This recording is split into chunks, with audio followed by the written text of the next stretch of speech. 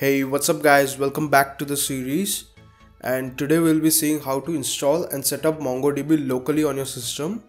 So first we have to download the MongoDB file so head over to your browser and search for the website mongodb.com. Here click on this download button. Now we want to download the community server so click on the community server tab. As you can see we have MongoDB for all the three OS. So we are downloading for the Windows. So click on this download button. Uh, the file is going to be a little bit big, uh, maybe about 100 plus megabytes. So if you're following along with me, then pause the video now and resume back once it's downloaded. I've already downloaded the file, so just double tap on it and start with the installation process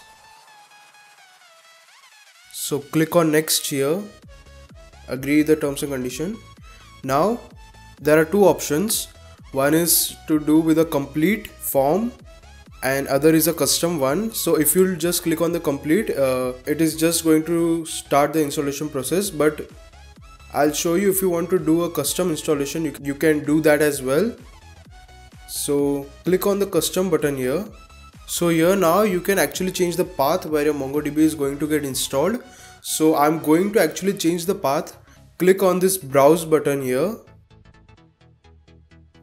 I'm just going to save it on uh, my C drive and create a folder called MongoDB and I'll just save it there.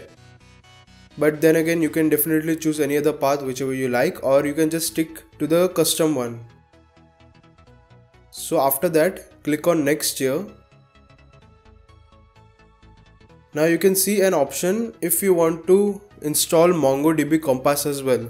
Now if you would have clicked on the complete setup previously then it would have installed the MongoDB Compass. But if you don't want it you can uncheck it here which in our case I'm going to uncheck it because it takes a little more time to install. So uncheck it if you don't want it but if you want the MongoDB Compass you can definitely keep it the way it is right now and click on next so after this the installation will start. Uh, it might take some time depending upon your system. So just wait till the installation completes. So now the installation has finished.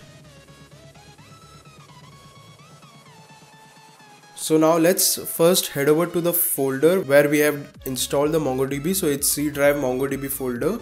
Now here you will see bunch of files and a folder but we need to create some more folders. So First folder will be data and I'll create one more folder called log and then within the data folder we'll create one more folder called db. So why are we doing this I'll just tell you in a minute. So now just open command prompt and remember to open it with administrator rights. So now head over to the folder so in our case it's cd mongodb and cd bin. So we are inside the bin folder. Now we have to add a couple of flags before we start the mongodb as a service. The very first flag is mongod directory per db so this flag tells us that each database will be stored in a separate directory. And uh, next flag is db path.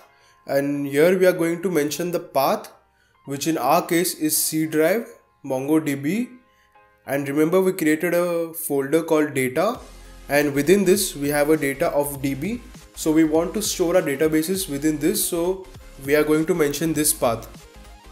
Now next flag is for log path. So why do we need log path?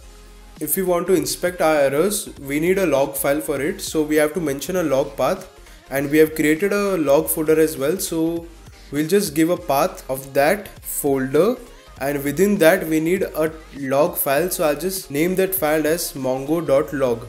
What this is going to do is it will overwrite all the logs which are previously present with the new log which we will get at every instant.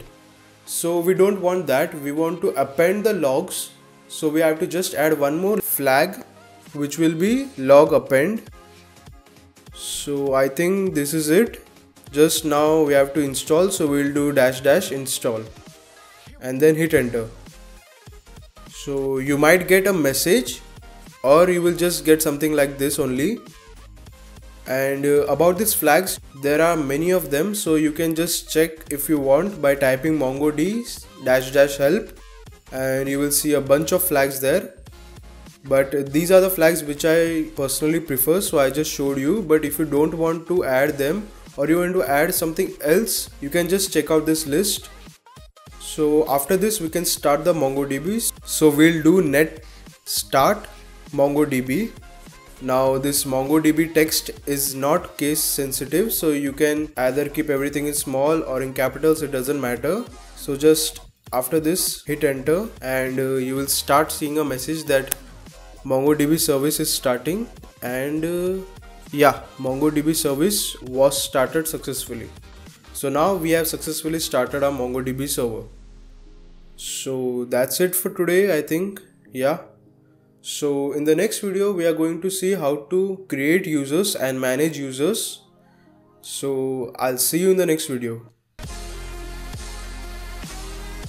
Also if you haven't subscribed to my channel, subscribe right now to get notifications of the upcoming videos as well.